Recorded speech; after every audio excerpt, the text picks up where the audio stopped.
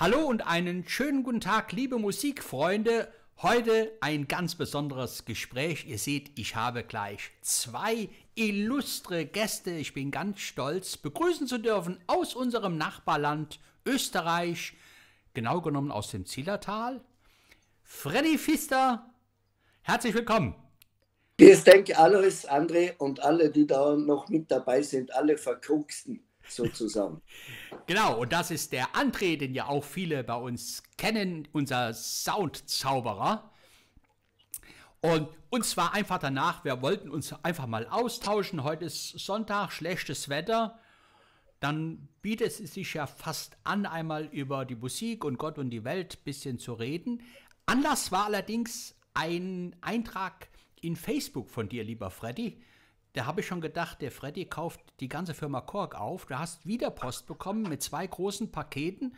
Du hast nochmal zwei PA5X geordert. Ja, also ich selber habe jetzt äh, vier, fünfer geordert und auch schon bekommen. Äh, drei davon äh, habe ich selber. Aber meine Jungs von der Band, äh, die haben, äh, denen habe ich natürlich auch einen vermittelt. Äh, der Martin betreibt ein kleines Tonstudio und, äh, und äh, unser Gitarrist natürlich auch, jeder hat seine Tasteninstrumente auch mit, mit daheim. Und natürlich spielen wir alle auf Coke. André, da können wir neidisch werden bei so viel Korks. Ja, auf jeden Fall, aber wir lieben sie doch alle. Freddy, hast du, du setzt die Kork 5X auf der Bühne ein? Ja. Gibt es irgendwie Probleme mit, mit, mit, mit Kork? Na, überhaupt nicht. Also ich habe, äh, glaube ich, den ersten, der, der, der Jürgen hat mir letztes Jahr im Sommer, glaube ich, einen vorab einmal zugeschickt, äh, mit dem ich dann ein bisschen arbeiten konnte. Ich habe dann schon eine Zeit gebraucht, bis ich, äh, bis ich alles durchschaut habe äh, und habe mir die ersten zwei, drei Wochen nicht getraut, ihn mit auf die Bühne zu nehmen, weil ich mir unsicher war. Aber ich habe weder ein Problem äh, er ist weder abgestürzt noch sonst irgendwas. Äh, deswegen wundert mich oft einmal, wenn ich äh, leider lese, dass sie ein paar da äh, ein bisschen aufregen, wenn nicht alles gleich hundertprozentig hinhaut. Aber es ist halt einmal ein, ja. ein sehr intensives Instrument und da muss man halt ein bisschen Geduld haben. Vielleicht liegt es auch daran, dass ich natürlich jetzt nicht alle Sachen, die das Style kann, verwende. Ich bin Style-Spieler und äh, brauche eigentlich sonst nicht allzu viel, weil äh, MIDI-Files und MP3s kommen mir nicht in das Gerät, äh, also weil ich es nicht brauche. Äh, und deswegen ist vielleicht auch so, dass halt das funktioniert alles wunderbar. Und äh, gleich vorneweg, ich, ich muss es sagen, ich habe jetzt vom 1er bis zum 5er alle gespielt. Äh, ich habe nie ein Problem gehabt mit keinem dieser Geräte. Und ja, ich bin begeistert und was Sie jetzt wieder auf die Beine gestellt haben, ja, großes Kompliment an die Koch-Familie, äh, gerade speziell an, an unsere deutschen Kollegen und natürlich auch an so Leute wie äh, André und dich, weil gerade durch deine Videos ist es natürlich tausendfach einfacher geworden, äh, dieses Gerät kennenzulernen, zu verstehen, was überhaupt alles möglich ist. Weil ich glaube, ganz viele gibt es nicht, die die Bedienungsanleitungen mit Liebe lesen. Und wenn man dir zuschaut oder euch zuschaut, dann ist das gleich eine geile ja. Sache. Freddy, da gibt es auch den Satz, dass Männer nie Bedienungsanleitungen lesen. Ja, ich habe ja nur die japanische gekriegt, weil wir Zillertaler haben auch eine komische Sprache. Na, ich verlasse mich da auf eure Videos. Okay.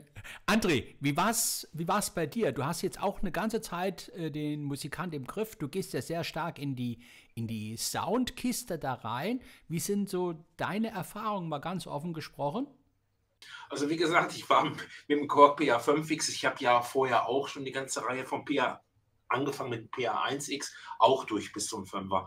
Und das ist eine alte Liebe und wieder eine neue Liebe. Ich habe mich da sofort drauf zu Hause gefühlt und ich bin immer wieder überrascht von der von diesem Fund, was dieses Instrument hat. Ich spiele es gerne, ich setze auch auf der Bühne viele Sachen vom Korg PA5X Musikant ein.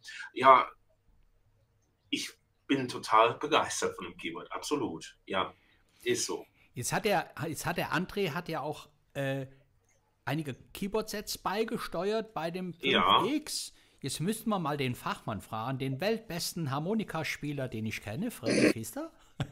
Ja, da kenne ich andere. Wie, wie klingen die Harmonikas im PA5X? Ja, also äh, André hat mir ja vor seinem verdienten Urlaub äh, äh, wunderbare Mail geschickt äh, und ich habe die Dinger sofort reingeladen. Also, kurz zur, zu meiner Freddy Pfister Band. Äh, ich spiele nur zwei Coke BA5 auf der Bühne. Ich habe einen Gitarristen dabei und dann habe ich noch einen äh, Bassisten dabei, der bei volkstümlicher Musik äh, und wo es passt, die steirische spielt. Also bei mir läuft alles über den BA5.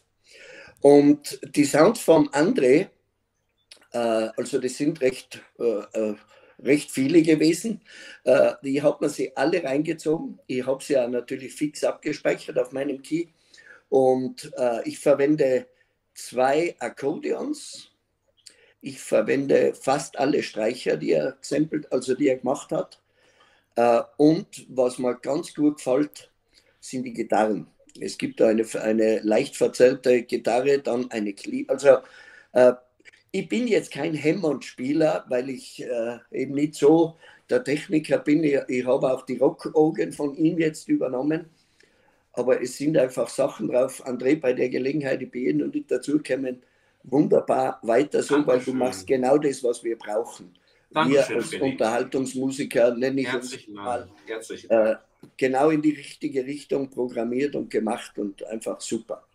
Was, Dafür möchte ich mich herzlich bedanken. Was äh, wunderschön ist, du hast es geschafft. Ich liebe diese, diese ausfliegenden Sounds. Äh, du, du hast viel mit dem Hals gearbeitet, mit den Effekten und das ja. kommt ja sehr, sehr geil. Und, und, ja, wie gesagt, ich verwende sehr viel von dir und Dankeschön. bedanke mich, dass du mich da äh, bedacht hast mit dieser wunderbaren E-Mail. Es ist aber Dank. genug gelobt. Normalerweise ja. sagen wir bei dem André ja, nicht geschimpft ist schon genug gelobt. Oh, ja, das kann schon sein, das kann schon sein. Aber, so. äh, ich, ich würde das Gegenteil auch sagen, wenn ich sagen würde, äh, ja, äh, äh kann man nicht, ja, ist nett, aber das ist es nicht, das ist mega. Dankeschön, lieber Freddy, herzlichen Dank. ja, André, das wäre ja mal so der Hinweis bei unserem nächsten Gespräch, bei uns beiden nochmal äh, das Musikant auf den Tisch zu legen und nochmal so den einen oder anderen Soundtipp zu verraten. Versprochen. Können wir gerne machen. Können wir gerne machen, ist versprochen, absolut. Habe auch schon wieder etliche neue in der Schublade. Das ist gut. Ja, Freddy, was sagt das Programm bei dir jetzt an? Man sieht ja, Welche? Hast, ah. da, da hast ja, du hast ja, äh, wenn man sieht, äh, schon wieder jede Menge Termine vor der Brust. Ja, da bin ich sehr froh drüber. Also, äh, wenn wir kurz auf das Thema kommen, letztes Jahr war ich schon sehr zufrieden mit den Auftritten, die wir reinbekommen haben. Heuer ist es aber schon wieder sehr ähnlich äh, äh, der Zeit vor Corona. Also wir, wir sind sehr gut gebucht, was mir positiv auffällt. Wir sind dieses Jahr auch wieder recht oft in Deutschland unterwegs. Da hat man letztes Jahr noch stark gemerkt, dass die deutschen Veranstalter, ich spreche da jetzt aber von äh, äh, Stadtfesten, äh, Zeltfesten und so weiter, letztes Jahr war da noch sehr wenig, die haben sich sehr wenig getraut. Heuer schaut es wieder sehr gut aus und ich glaube, wir alle können wieder ein bisschen aufatmen. Die Branche äh, hat wieder Arbeit und da legen wir los und werden mit unseren Cokes äh, äh, einen guten Eindruck hinterlassen. Klasse. Jetzt mal eine ganz andere Frage, fällt mir da ein. Du hast ja die vielen PA-Keyboards oder wenn du auf die Bühne gehst, sagst du, hast du zwar dabei. Hast du ein Flight Case oder, oder nimmst du das mit der Tasche oder wie transportierst du das? Na, ich habe äh, Flight Cases, äh, ich habe mir die, eben die speziellen gerade für die zwei, äh, die ich mit auf der Bühne habe, äh, äh, maßschneidern lassen. Na, äh, bei diesen Geräten ist es besser. Ich habe wir haben da immer zwei, drei Techniker oder, oder halt Leute mit dabei, die uns das ganze Zeug auf- und abbauen. Und ab und zu kann es schon mal passieren, dass einer ein bisschen 20 Zentimeter auf dem Boden fällt oder so. Na, ohne Case würde ich so ein Teil nicht, nicht nehmen. Okay. André, da merkt man ja so den, ein bisschen Unterschied. Hast du auch Techniker immer dabei, wenn du musizierst? Bekommst du aufgebaut? ich muss alles selbst machen. Ich fahre sogar selbst hin und selbst wieder zurück, schlepp alles hin, bums alles auf die Bühne und zum Schluss, ich bin im Prinzip immer der Erste, der kommt und der Letzte, der geht. ja. Äh, ich muss einwerfen, also wir sind schon auch fleißig, wir helfen, wir drei Musikanten helfen natürlich auch immer mit, weil da umeinander stehen äh, wollen wir natürlich nicht, aber natürlich äh, den Luxus habe ich mir gegönnt, weil man doch, wenn man von Tirol nach Holland fährt oder irgendwo hin, ah. dann ist es natürlich echt fein, wenn man nachher dann noch sich noch ein bisschen mit den Fans unterhalten kann und in der Zeit unsere, äh, unsere wie soll ja, ich sagen, Heinzelmännchen ein bisschen Arbeit haben. ja, kann ich mal. Hast du eigentlich äh, in der letzten Zeit nochmal einen äh, im, im, im, bei den Musikanten nochmal umstellen müssen oder hast du jetzt die, die feste Mannschaft jetzt gefunden? Also ich, bei mir war es so, also äh, wenn ich kurz ausholen darf, ich habe leider, also die Freddy Pfister Band habe ich jetzt seit 2007. Vorher war ja die Gruppe Heu und vor Heu waren die Schürzenjäger. Und ich habe leider ein bisschen Pech gehabt. Ich habe jetzt seit 2016 bis, äh, bis 2019 in drei Jahren habe ich drei Musiker verloren, alle drei gestorben, alle sehr jung. Und ich habe dann, äh, äh vielleicht habt ihr es gesehen, der, der Martin Benz, ein sehr, sehr guter steirischen Spieler, der ist aber leider vom Beruf Lehrer. Und ein Lehrer hat es zwar toll im Sommer, beim Ferien sind, können wir viel unterwegs sein und so weiter, aber natürlich ein, die Hauptsaison ist dann bei uns auch wieder September, Oktober. Und da bist du als Lehrer, kommst nicht weg, kannst ja nicht einfach Urlaub nehmen. Deswegen haben wir uns entschieden, dass der Martin mit Ende letzten Jahres aufgehört hat, sich seiner Arbeit und seiner Familie widmet, natürlich auch noch musiziert. Und ich habe wieder mal das Glück gehabt, wie es halt so ist bei einem Zillertaler, Glück muss man haben, einen jungen Musikanten gefunden, den Matteo Schrei. Und der Typ ist 20 Jahre und spielt wie ein junger Gott. Also die Ausbildung bei diesen jungen Leuten heutzutage ist unfassbar. Und da habe ich großes Glück gehabt und ich glaube, wir sind wieder auf einem, auf einem guten Trail. Das ist, glaube ich, etwas anders wie bei uns in Deutschland, André. Also ich denke, in, in, Österreich wird ja die Musik eh ein bisschen hochgehalten, auch in der Schule schon, in der Schulausbildung. Während bei uns äh, hat man eher. Ja, finde ich, find, ja, finde ich, finde ich auch ein bisschen schade, muss ich ganz ehrlich sagen. Vor allen Dingen dieses ganze volkstümliche Gut bei uns wird ja auch immer weniger oder wird auch, wie du sagst, gar nicht mehr hochgehalten. Ne? Geht hier meistens nur um Party, natürlich bei, bei dir, Freddy, mit Sicherheit auch in Zelten und so. Ja. Aber so dieses Akkordeon spielen, das hat hier schon irgendwie so ein bisschen, na, gucken die Leute, aber macht denn jetzt, spielt Akkordeon. Schade, schade. Weil ich bin ja auch so ein Fan davon, ne? mal ein bisschen Polka, mal ein bisschen Walzer, mal ein bisschen zum Mitsingen, ein bisschen Stimmung Erfahrung. Äh, wenn ich selbst in Österreich bin, erlebe ich das ja immer wieder, wenn ich das spiele. Da spiele ich Sachen, die, die, da würden mich die Leute hier angucken. Was, was macht der jetzt da? Ne? Was, ja. was, was will er jetzt? Ne? Ja, es ist sowieso äh, dieses, äh, nennen wir es mal volkstümlicher, volkstümlicher Schlag, eigentlich die Branche, in der wir alle arbeiten, weil natürlich auch die Popschlagerbranche gehört ein bisschen zu uns. Wir sprechen da von Unterhaltungsmusik und was mich immer ein bisschen ärgert, wenn so ich, ich, weiß nicht, wie ich die Leute beschreiben soll, wenn diese Musik immer so belächelt wird, der, der Schlager und, und volkstümlich. Ich habe einmal gesagt, oder meine Einstellung dazu ist das, brauch, wir brauchen die normalen Medien immer, weil es gibt ja auch keine Sendungen mehr, außer in diese Party-Sendung vom Silbereisen, aber sonst gibt es ja nichts mehr. Und ich bin einfach der Meinung, ich sage, wenn alle Unterhaltungsmusiker mal streiken würden, ein Monat lang in Österreich, in der Schweiz, in Südtirol, in Deutschland, Holland, dann wäre tote Hose. Und Richtig. zwar für alle. Es wär, es wär, die Leute hätten nichts mehr zu feiern, nichts mehr zu lachen. Und, und was bei dem Thema auch noch ist, äh, du hast es angesprochen, wir haben das große Glück, wir haben sehr viele junge Leute, die gerne noch äh, steirische Harmonika, Akkordeon Wunderbar. spielen. Was aber für mich auch immer wichtig ist, egal, wenn ich allein auf der Bühne stehe, dann, äh, oder wenn jemand allein auf der Bühne steht, dann verlange ich als Mensch, als Zuhörer, dass er zumindest in dem Fall, wenn er Keyboard spielt, das Keyboard selber spielt. Also rechte oder auch rechte und linke Hand. Wenn ein Trio auf der Bühne steht, dann will ich haben, dass äh, der Bassist seinen Bass selber spielt, der Gitarrist und der Keyboarder sein Keyboard, dass man in kleinen Besetzungen eine kleine Hilfe braucht. Keine Frage, es soll ja auch halbwegs klingen, aber ich kann es nicht haben, wenn sie alle nur noch die, den berühmten ja. Knopf drücken, richtig, der dann richtig. alles so wunderbar abspielt. Richtig. Äh, die sollen DJ werden, aber sollen es musizieren dann eher lassen, ist mal lieber. Bin ich voll bei dir, hundertprozentig. Ja, so ja. sieht's aus. Freddy, aber eine Frage liegt mir noch auf dem Herzen. Limex, sagst du, du spielst ja Limex. Ich habe jetzt ja. seit, seit ja, drei Monaten das Vergnügen, auch ein Akkordeon probieren zu dürfen von Markus Brandt, Silberbach Akkordeon. Ja, super, ja. Und der arbeitet hier eng mit äh, Limex zusammen. Ja, der hat genau. Ja Limex.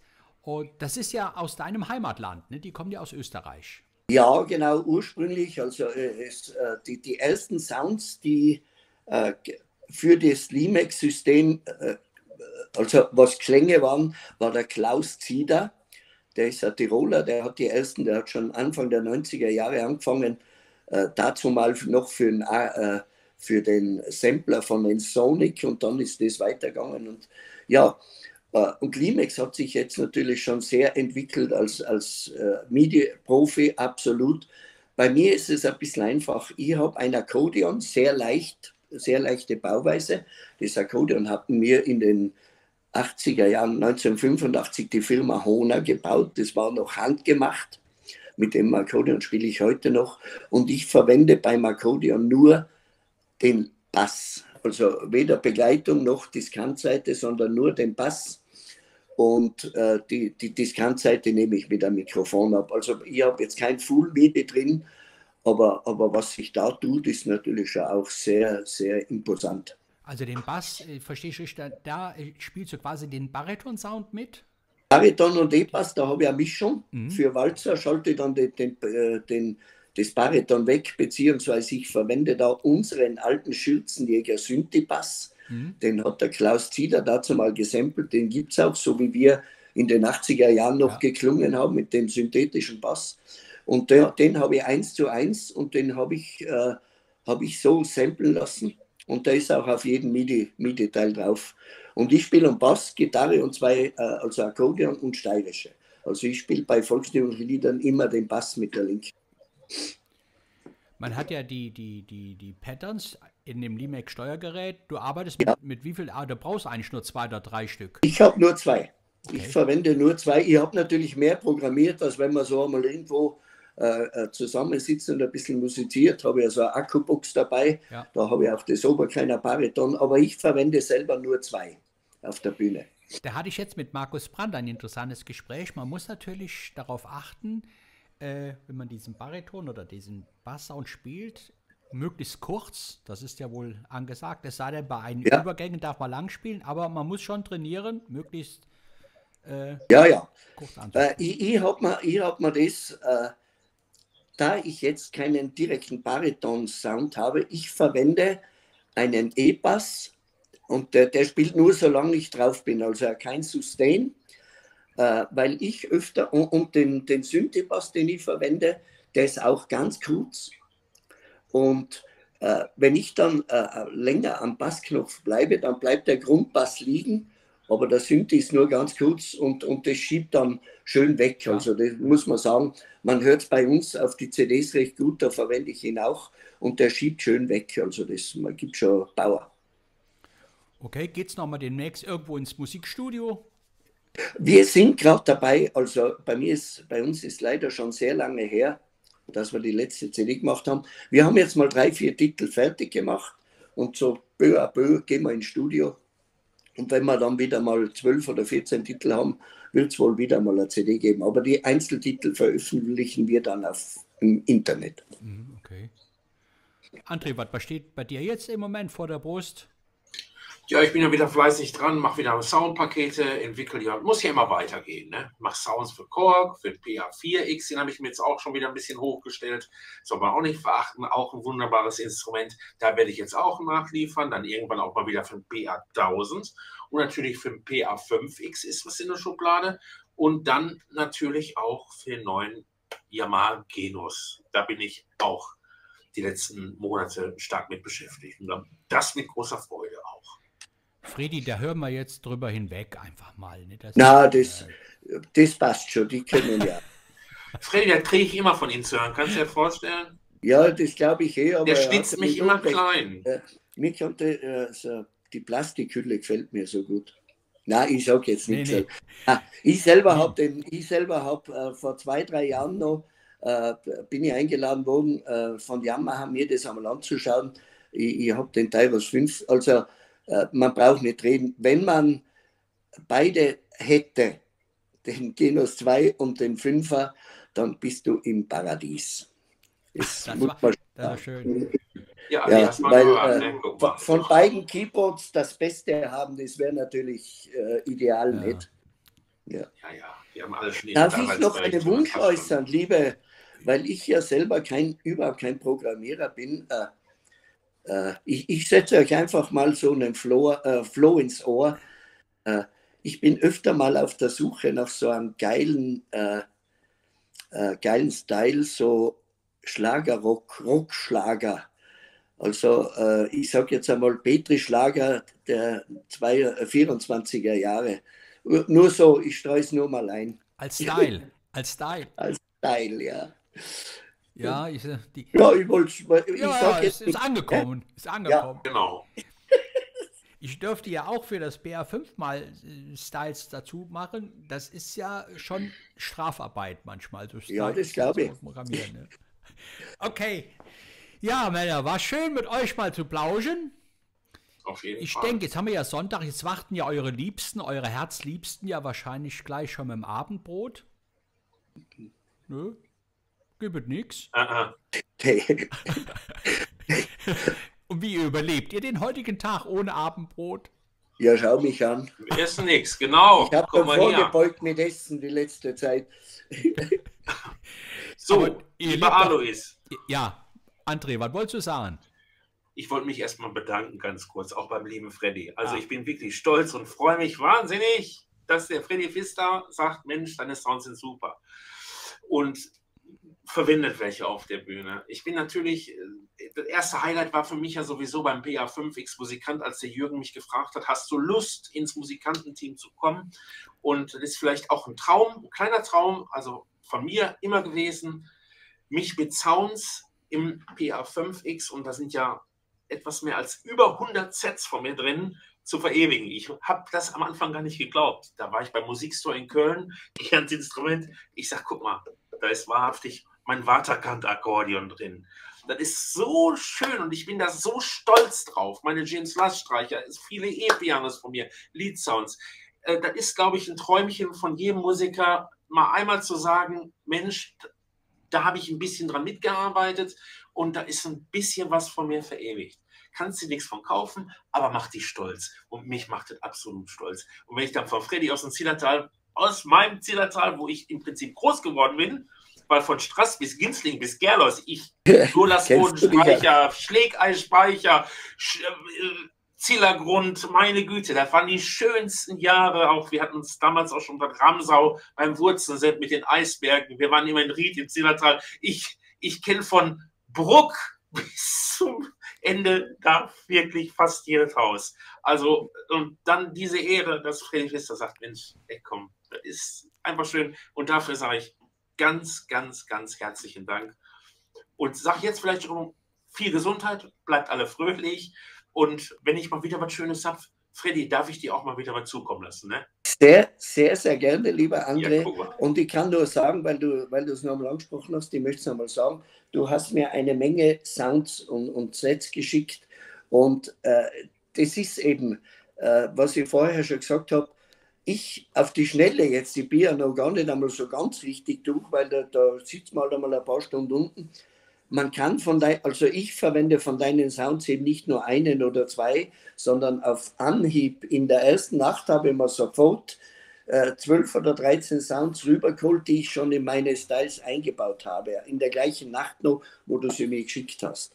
Mann, danke. Ja, super. Jetzt komme ich noch einmal zum Zillertal. Du kennst die aus. Und Ja. ich würde mich sehr freuen, wenn du mal den Alois zusammenpacken würdest und für ein, zwei Nächte einfach einmal ins Zillertal kommen. Nicht über Musik reden und, und Ding, sondern ich würde euch gerne mal einladen, euch zwei zu uns. Also ich komme auf jeden Fall, ob ich Alois mitbringe, weiß ich noch nicht, aber da werde ich mir überlegen. Ist kein Problem. Du haust ihn einfach in den Anhänger rein, da stellst du ihn Nee, der passt ja auch im Kofferraum, ist ja kein Dann soll Problem. er ein bisschen spielen, nicht? Da brauchst du den Radio nicht einschalten. So, es war Wie schön. Ein, machen Ja, wir. ja. ein, es war schön mit euch zu reden, sehr schön mit einem Ja. ja, sympathischen Schluss. ich sage herzlichen Dank. Freddy, herzlichen Dank für deine Zeit. Schöne Grüße ins Zillertal nach Österreich. Von mir André auch. ins Ländle nach äh, Gelsenkirchen. Ja, ja. Garmisch-Gelsenkirchen. Garmisch-Gelsenkirchen. Ich sage Dankeschön, ihr Lieben. Es hat mir Spaß gemacht. Bleibt gesund und wir Ebenso. sehen uns nochmal.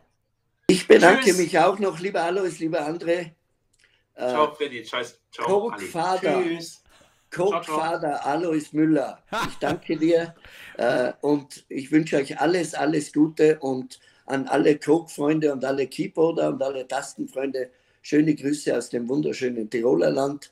Lasst es euch gut gehen und lasst euch anständig verkorksen. Das war ein schönes Schlusswort. Tschüss. Auf jeden Fall. Tschüss.